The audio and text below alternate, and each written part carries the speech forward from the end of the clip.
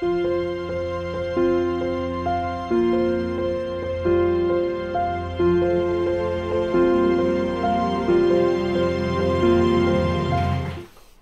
hola, muchas gracias y bienvenidas a todas y a dos, que está muy bien. Esto cuando decimos que hay que incorporar a los hombres a la parte de la lucha, es esta la historia, este es el tanto por ciento de señores que están interesados en la lucha de las mujeres.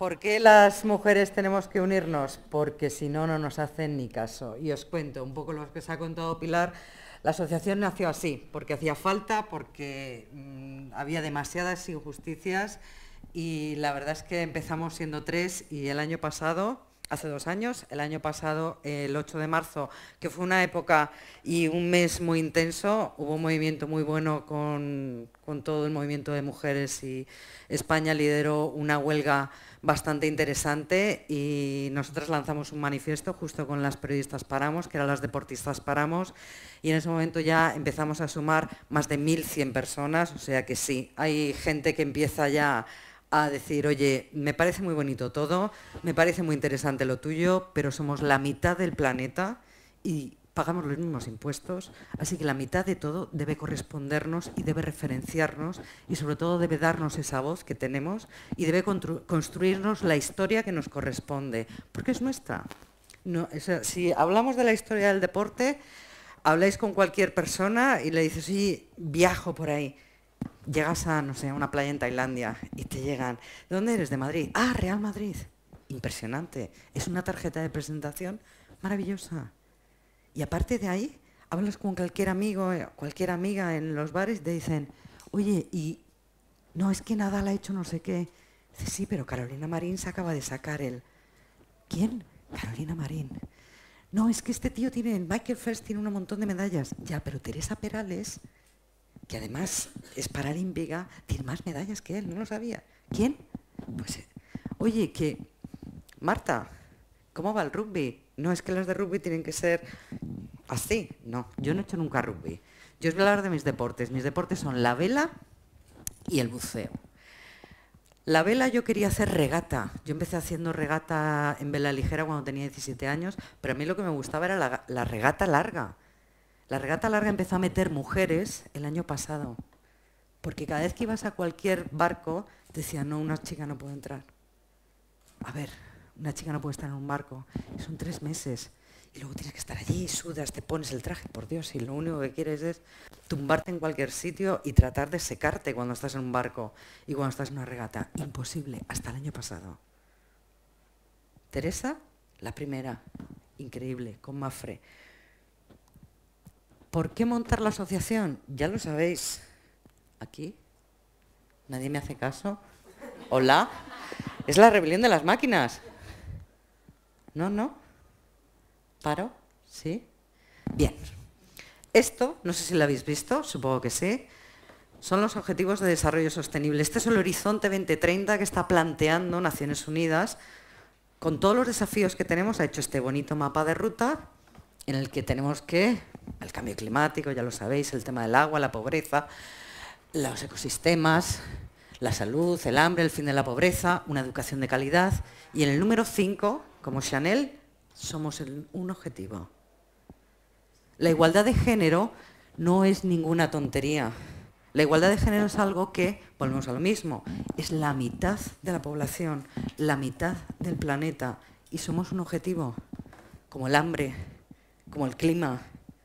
Esto nos tiene que dar que pensar a nosotras, y sobre todo a vosotros, a los hombres. Dices, ¿por qué nos habéis dejado tan poco espacio?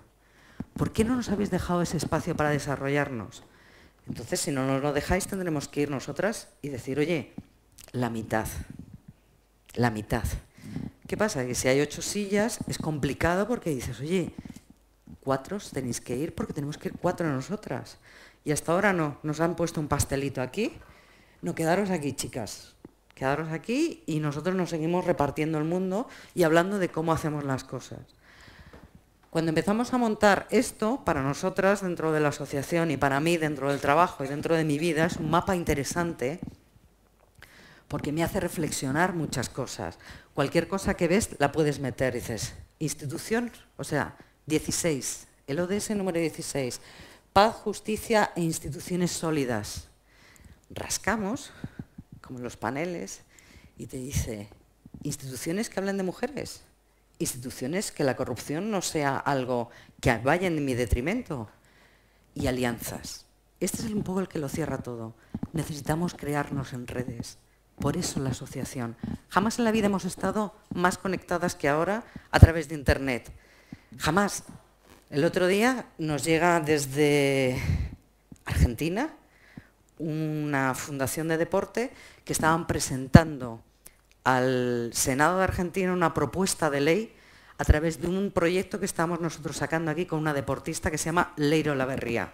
No sé si lo habéis visto, pero si os vais a nuestra web lo veréis. Leire ha sido una deportista que ganó eh, su medalla olímpica y ha sido nuestra mejor marca de España en ciclismo en pista. Se queda embarazada y la apartan. Hoy nos ha llegado lo que dice la federación después de la denuncia que le hemos metido. Seguramente vamos a ir con esto a la Audiencia Nacional, al Instituto, porque no nos vamos a parar aquí. Necesitamos que todas las federaciones y que todo tenga una perspectiva de género y necesitamos que las mujeres que, hacen deporte y que han dedicado toda su vida a hacer deporte, si se quedan embarazadas, no las echen fuera. ¿Esto qué es? Es que cualquier estatuto del trabajador te lo tira por en medio. Nos llaman muchas veces periodistas y nos dicen, oye, vamos a hablar de las cláusulas anti-embarazo. ¿Existen? Sí. ¿Son ilegales? Sí. ¿Existen? Sí. Pero es que la precariedad en el mundo del deporte femenino es tal Hoy por hoy, ninguna mujer en este país, ninguna, es deportista profesional. Ninguna. La ley no lo contempla. La ley, que es una ley muy antigua y que ninguno de los políticos de ningún partido hasta hoy han empezado a cambiarla y seguimos pensando cómo vamos a incluir a las mujeres dentro de esa nueva ley, pues yo creo que hay que empezar a... No me habla, habla conmigo. Bien. Esto, no, no, la anterior, la anterior, la anterior. Esta. Esto es lo que llamamos la araña. Pilar, aparte de ser secretaria general, es capaz de hacernos estas gráficas tan estupendas para la asociación. Estas son todas las licencias que hay en mujeres y hombres. Da miedo, ¿verdad? Estas son las políticas deportivas que han hecho los, todos los partidos durante los últimos años y hemos podido comprobar que apenas se mueve un porcentaje. Estamos entre un 80 y un 20. Dependiendo de la comunidad autónoma, un 76, 23, o sea, no, no, no se mueve, o incluso menos. Por supuesto que hay algunas que gimnasia, pues hay más mujeres, o volei, pelota hay más hombres. Pues no, lo que no queremos, o sea, cuando hablamos de que queremos la misma igualdad, lo que queremos hacer y lo que queremos decir es que de todas estas licencias y de todos estos hombres queremos tener la misma oportunidad y practicarlo igual. O sea que si tenemos un 80% de licencias y un 20%, lo que tenemos que hacer es subir esto en número. Y que se quede 3 millones de personas federadas, que pueda haber 3 millones de personas federadas mujeres que practiquen. Porque esto quiere decir que a nosotras, por X mil razones, no se nos dan las mismas oportunidades que a ellos. Y esta es una cosa que tenemos que reflexionar. ¿Por qué? Porque no nos gusta. A todo el mundo le gusta estar bien y hacer deporte y tener tiempo. Me da igual si quieres hacer ejercicio físico, ir al gimnasio o lo que sea. Y competir. ¿Y por qué no?